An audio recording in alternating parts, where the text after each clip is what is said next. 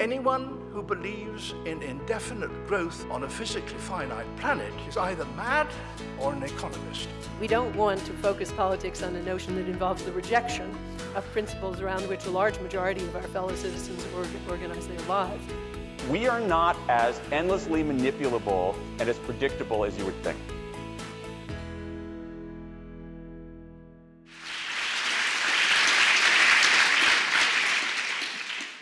I'm tempted to begin this address in one long and terrifying distinguished line with words such as, It is traditional on occasions such as these.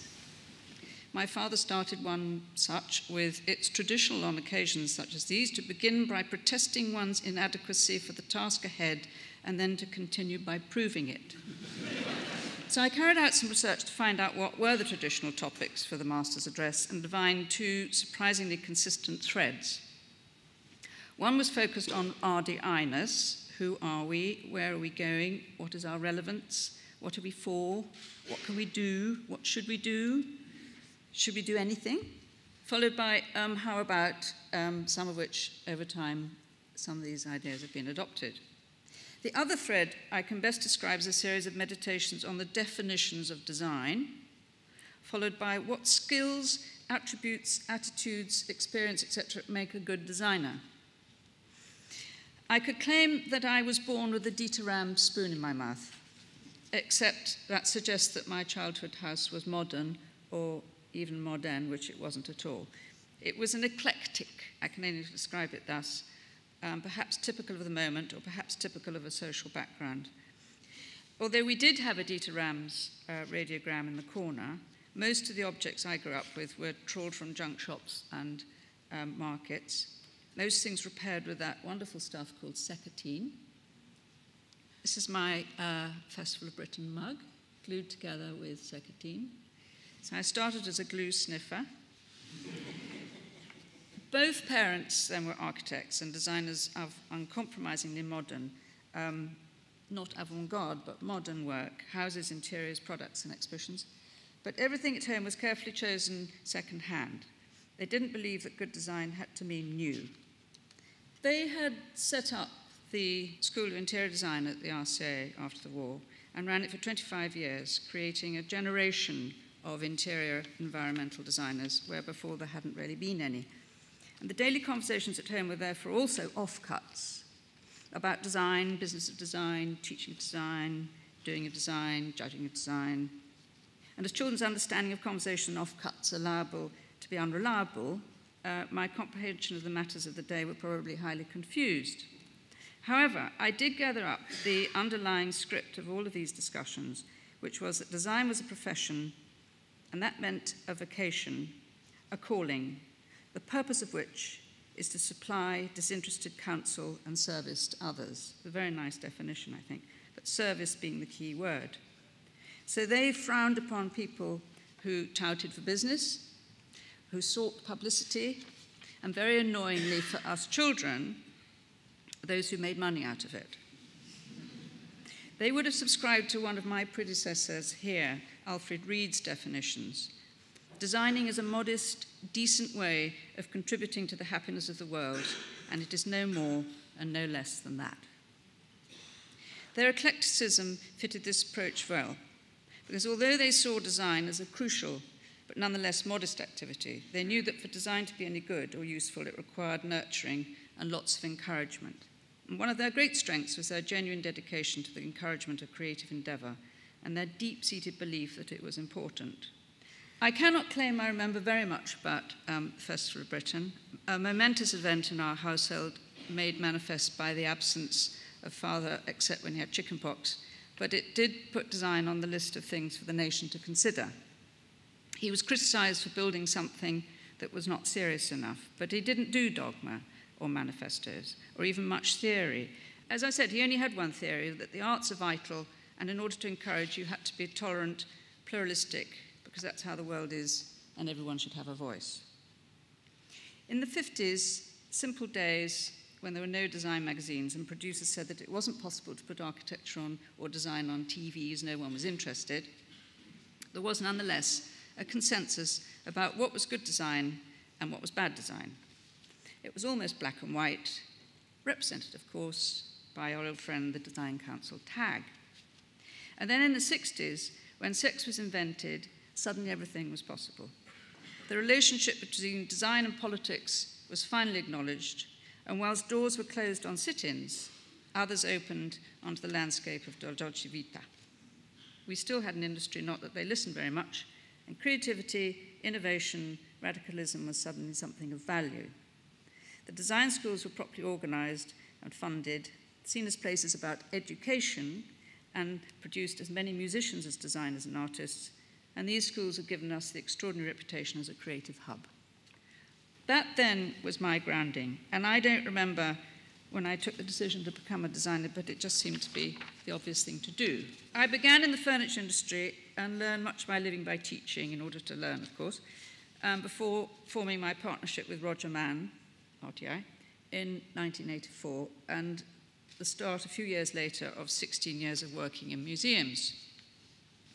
And one of the particular pleasures this election gives me is the fact that I'm the first master to represent exhibition museum design since Misha Black, who was master here in 1973. And I'd like to share, albeit briefly, why this field of work is so interesting and difficult and time consuming and rewarding and frustrating and underrated, underpaid, and underdiscussed. Um, I'm not convinced that many people really know what museum is, so I shall try and explain it to you by giving an example of the sort of briefing conversations that we have.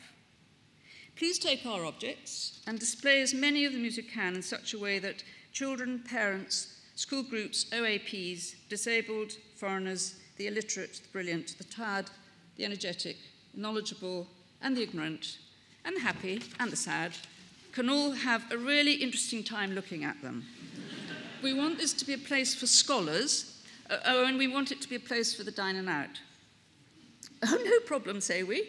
Um, we understand that you have um, a limited budget, that you'd like to fill the place with AV and smart technology. We understand that you want to encourage people to feel close to the objects, and it's vital that they don't touch anything. And we also understand that you're understaffed and that running a museum is desperately hard, and that somehow we have to find a way of using the assets you have uh, which are generally a motley selection of objects brought together as a result of obsessions of people long since gone, housed in an expensive building with impossible circulation routes and not enough lavatories. And we also understand that you want to quadruple your visitor numbers because if you don't, funding will cease, the place will close, the objects will be dispersed or put into store, and somehow a piece of something very precious will die. Because they're so different from each other, Contemporary brain science and bravery medals are really not the same thing. It's hard to generalize about museums, but I think one thing one can say is that to visit them forces us to re examine our prejudices, assumptions, memories, perspective, and knowledge, and our perception of human endeavor, human thought, and human worth. Museums can change the way we behave and see the world. These are three dimensional places where three dimensional connections can be made. Good museums can inspire visitors to be more resourceful, to have confidence in their capabilities and their ability to create and collaborate. Once viewed as an irritating interruption to scholarship and a source of silly questions, the visitor is suddenly important. They're now even thought to be interesting, and the museums are now seeking a dialogue with them. As designers of these places, we sit somewhere between the museum, represented by the curator, and the visitor. Like taxi drivers, we accept almost any topic in our back seat. And we tend to keep our light on as the projects are susceptible to disappearing. We've looked at dinosaurs, portrait miniatures, brain science, nuclear power, contemporary design, small children, the future. The museum designer's privilege and all designers have their privileges, is having to learn. And we have to learn and understand in order to do our job. And now for my two forks and the setting out of my master's table. You will have noticed that my forks are eating forks, not like the two pronged ones in the proverbial road. But like those on the road, they are here because they're representing choice. My first fork then is about us as RDIs, and what we want to do with our role as a faculty within the RSA. Designers have to be multifaceted people, and our task is to enlighten and to be enlightened, to learn as well as to teach.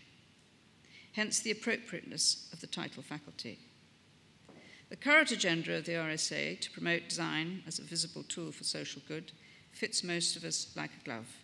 And our host's desire to see us as voluntary and visible participants in their projects and initiatives has never been under dispute. And the 75 Days Initiative is a clear example of this.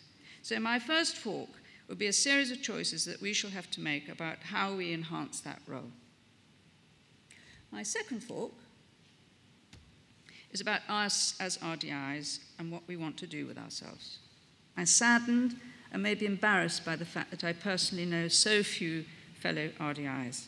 We're a weird bunch, from lone practitioners to the directors of large companies, pleaters of fabric to the suspenders of bridges.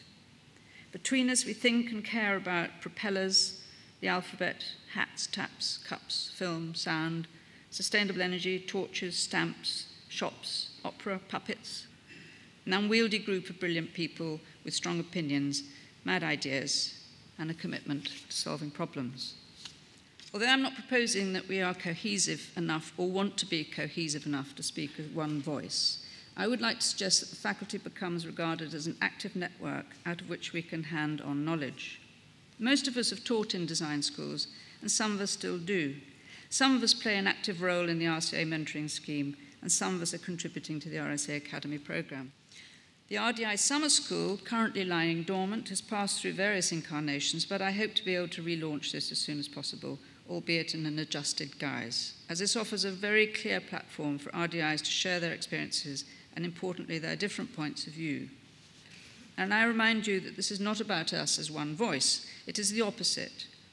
But as the design schools begin to default, young designers need to have access to, wide voice, to wise voices. So, one of the forks on my table will be concerned with this. I will be seeking ways with you to find, to, to, to find ways that we can contribute from experience as practitioners and as teachers to a collective pool of ideas on how the next generation of designers might be educated. Most of us had, have had more interesting journey into design than I've had. And there are many out there who could be encouraged by those stories. And as storytelling is my trade, I'm keen to collect these and to share them. So you'll be hearing from me. Probably more than two forkloads, but one thing tends to lead to another. And I set off on this new journey with slight trepidation. And I hope during the next two years to edge these forward, things forwards just a little, because I'm very realistic about what's possible. But as Groucho Marx said, those are my principles. If you don't like them, I have others. Thank you very much.